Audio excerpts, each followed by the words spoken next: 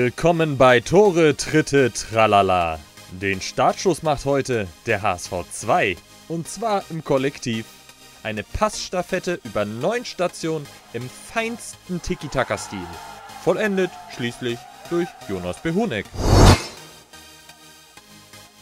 Eine andere Taktik verfolgt Braunschweigs Ahmed Chanbas. Der macht nämlich lieber alles allein, aber nicht minder sehenswert.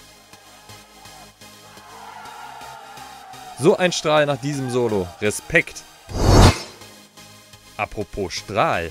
Der gehört auch ins Portfolio von Sandro Heskamp. Die Hintertorwerbung irritiert ihn anscheinend nicht genug. Unhaltbares Ding.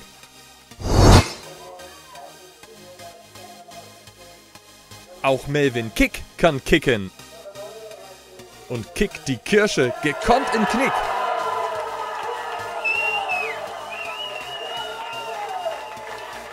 Schön von Kick. Den Rekord in Weitschießen hält diese Woche allerdings Burak Genschal. Der nimmt nämlich fast von der Mittellinie Maß. Kann man machen. Letzte Woche hat Patrick Kreuz mit seinem Lupfer-Hattrick auf sich aufmerksam gemacht. Was macht er wohl diese Woche? Na klar, was sonst?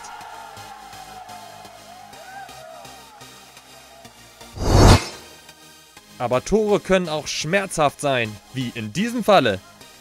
Darren Griffin senzt Fatih Bünü Grioglu ohne Rücksicht auf Verluste brutal um.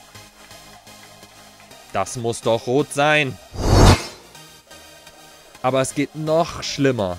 Yannick Stoffels trifft gleich beide Bälle. Und zwar die von Kai Pröger.